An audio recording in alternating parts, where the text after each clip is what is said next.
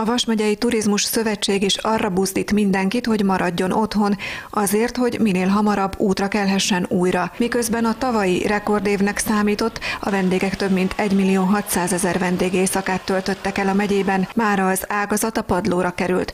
A szövetség a járvány csillapodása után országos marketing kampányt indít, amelynek az a célja, hogy minél előbb helyreálljon a megye turizmusa. Azt szeretnénk üzenni elsősorban belföldi turistáknak, hiszen azt várjuk, hogy először a turizmusnak az az ága fog fellendülni, hogy Vasmegye attrakciói, Vasmegye szállodái, Vasmegye fürdőhelyei újra várják a vendégeket. A járvány elmúltával is működnek, és hát reméljük, hogy még az idei szezonban érzékelhetően vissza tudjuk állítani azt a vendégforgalmat, ami Vasmegyére volt jellemző.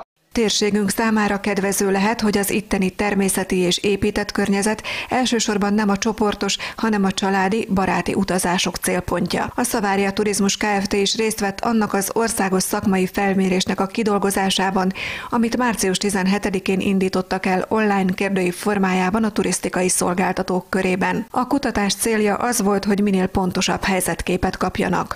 Általánosságban azt mondták el, hogy körülbelül a tavalyi évi bevételeiknek a 40-42 százalékával kalkulálnak. A megkérdezett közel ezer vállalkozás azt jelezte, hogy körülbelül olyan két-három hónapra való tartalékokkal rendelkeznek, viszont kicsit optimistábbak voltak, hogy milyen módon tudnák elképzelni a turizmus újraindítását. Itt mindenki arra koncentrál, hogy elsősorban a belföldi turizmust kellene most erősíteni a magyarok körében, hogy hogyha vége lesz a járványnak, akkor ne külföldön képzeljék el az utazásaikat, hanem elsősorban Magyarországon.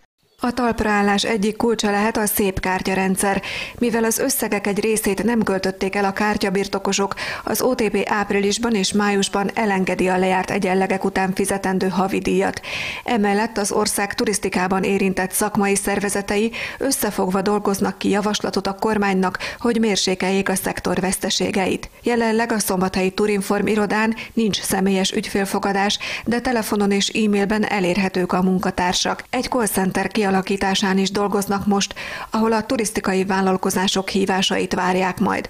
Tájékoztatást adnak az érvényes jogszabályokról, a gazdasági mentőcsomagok lehívható forrásairól is.